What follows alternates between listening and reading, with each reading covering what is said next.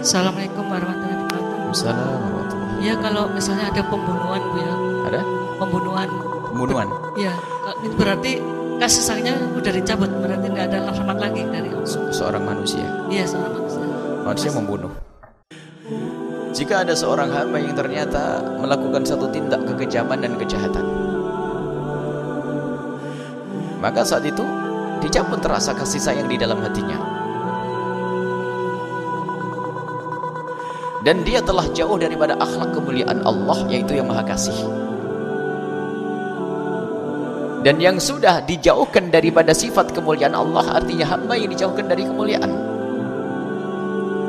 Tidak dia menjadi seorang yang pengasih, tidak menjadi seorang penolong, tidak menjadi seorang yang memberi rizki kepada yang lainnya. Maka di saat sudah punya tidak punya sifat-sifat seperti ini, maka dia dihinakan. Lembut tidak, penolong tidak, memperhatikan yang lain tidak, kasih sayang tidak, tidak, tidak. Nah ini adalah paling busuknya manusia. Makanya kembali lagi untuk mengenal sifat nam- nama-nama Allah yang terkandung di dalamnya adalah sifat-sifat mulia agar kita bisa berakhlak mengambil bagian daripada akhlak yang diajarkan Allah melalui nama-nama Allah itu sendiri.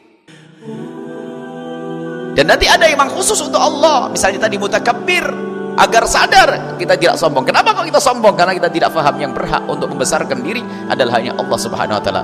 Kenapa dia membunuh? Karena dia tidak mengerti Allah Maha kasih sayang dan Allah sangat sayang kepada hambanya. Hamba itu pun dikasih sayang oleh Allah, tapi kenapa kau berbuat jahat kepadanya? Betul dicabut rahmat itu. Dan kalau sudah dicabut rahmat dari hati seorang hamba, maka busuklah dia. Tidak ada yang tertinggal kebaikan baginya. Dia akan kejam, sewenang-wenang, dolim, gak peduli siapa pun. Dan tidak akan berbuat kecuali hanya untuk menuruti hawa nafsunya. Membunuh dipikir dia senang. Apa yang dituruti? Amarah. Bukan. Dia akan senang dia. Tapi orang dengan kasih sayang akan memberi dan menjadikan orang lain senang dan hatinya puas. Coba paham kalau orang mana kasih dan cinta dan sayang.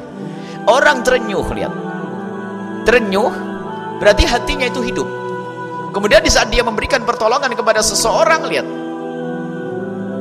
Orang itu senang mendapatkan kebaikan dari dirinya.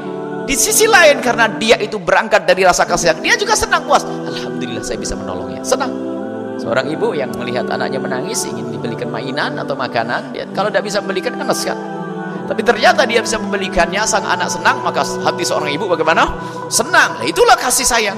Jadi kesenangannya adalah menyenangkan orang lain, kesenangannya adalah untuk kebaikan orang lain. Tapi sebaliknya orang busuk, kesenangannya adalah nyiksa orang lain dan dia tidak bakal senang sesungguhnya. Hilangnya rasa kasih sayang tadi. Dan dia tidak kenal Allah. Maka yang yang tidak punya kasih sayang adalah tidak kenal Allah yang maha kasih. Dan hamba-hamba yang tidak kenal Allah berarti semakin jauh dari Allah Subhanahu wa taala dan akan berkembang kejahatannya dari hilang kasih sayangnya. Muncullah ketoliman-ketolimannya dan ketoliman adalah bermacam-macam cara. Dolim dengan lesannya, dolim dengan perilaku lahirnya, dolim dengan pikiran-pikirannya suudon dan seterusnya. Karena apa? Jauh daripada sifat-sifat kemuliaan Allah Subhanahu wa taala. Wallahu a'lam bissawab.